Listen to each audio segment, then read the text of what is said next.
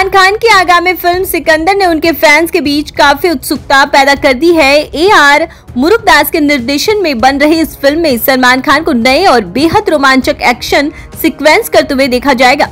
यदि ये सीक्वेंस सही तरह से फिल्माए गए तो थिएटर्स में तालियों और शोर का मंजर देखने को मिलेगा।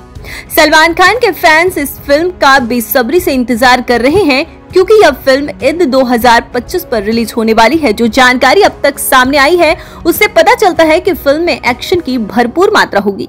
यदि आपने वाईआरएफ की धूम फ्रेंचाइडी की फ़िल्में देखी हैं, तो उनके शानदार बाइक चेक सीक्वेंस को याद कर सकते हैं। लेकिन सिकंदर में इससे भी ज़्यादा धमाकेदार एक्शन दिखाया जाएगा जिसे देखने के बाद आप धूम की फ़िल्मों को भी भूल जाएँगे।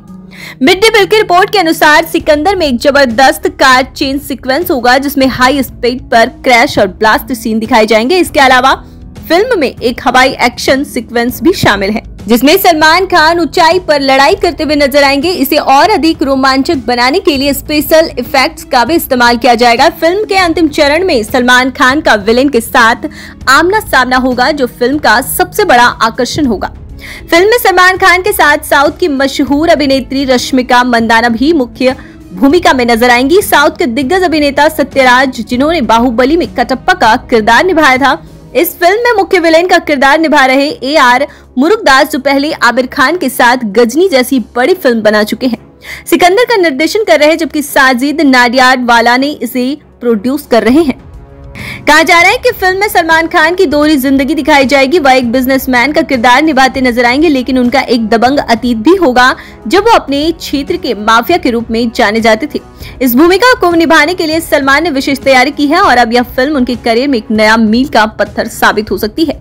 यदि सिकंदर फ़िल्म रही तो यह सलमान खान के ईद 2025 को यादगार बना देगी। उनकी पिछली ईद पर रिलीज़ हुई फ़िल्म किसी भाई का किसी की जान 2023 में रिलीज़ हुई थी, लेकिन यह फ़िल्म बॉक्स ऑफ़िस पर जादू नहीं चला पाई। 125 करोड़ के बजट में बनी इस फ़िल्म ने भारत में एक करोड़ का नेट कलेक्शन किया था। अब सिकंदर से उम्मीदें और भी ज़्यादा है और सलमान खान के फैंस इस फ़िल्म से काफ़ी उम्मीदें लगाए बैठे हैं।